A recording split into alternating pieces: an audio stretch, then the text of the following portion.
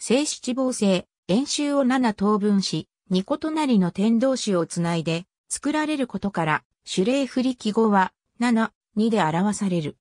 正七芒星、円周を7等分し、3個隣の点同士をつないで作られることから、種類振り記号は7、3で表される。幾何学において、7芒星は7つの角を持つ星型多角形である。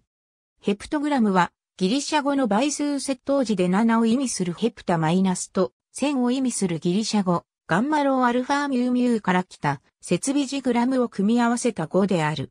7棒星は規約分数で2つの形式で描画できる最小の星型正多角形である。2つの7棒星はヘプトグラム及びグレート、ヘプトグラムと呼ばれることもある。より小さいものでは6棒星、6には2つの三角形の複合体である。最小の星型多角形は5棒星、5、2である。より大きいものでは、8棒星が8、3と2つの正方形の複合体である、8、2。そして9棒星の9、2、9、4、及び3つの三角形の複合物である、9、3と続く。他、錬金術やイスラム教の聖典クルアーンにも登場する。ありがとうございます。